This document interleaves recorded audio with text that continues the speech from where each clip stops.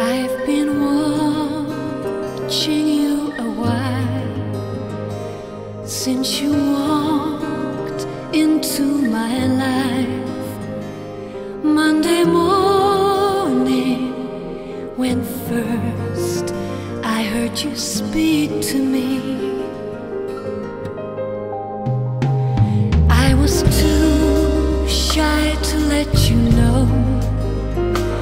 much too scared to let my feelings show.